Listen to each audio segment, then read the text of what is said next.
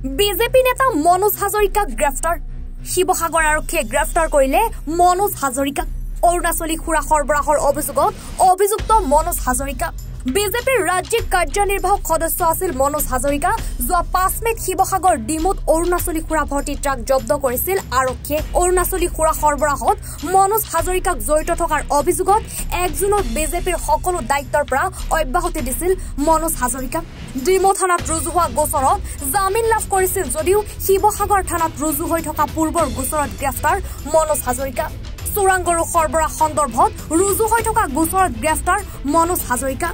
ছাপন্ন অব্লিক দুহেজাৰ চৌব্বিছ নং গোচৰৰ ভিত্তিত ভাৰতীয় দণ্ডবিধি আইনৰ তিনিশ ঊনাশী নং ধাৰাত গ্ৰেপ্তাৰ কৰে বিজেপিৰ নেতাজনক।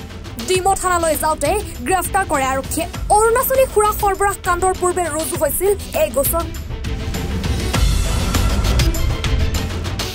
শিৱসাগৰৰ পৰা Moni Gogoi report any Bharat twenty four.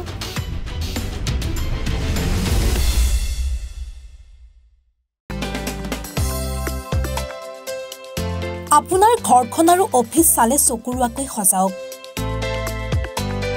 আজি আহক সকলো ধৰণৰ অত্যাধুনিক ফাৰ্ণিচাৰৰ বাবে city furniture six mile Guwahati. আমাৰ ঠিকনা ছিক্স মাইল পাঞ্জাবাৰী ৰোড পুৰবিদাৰীৰ সন্মুখত গুৱাহাটী। আমাৰ যোগাযোগ number nine four three five zero' one three nine six nine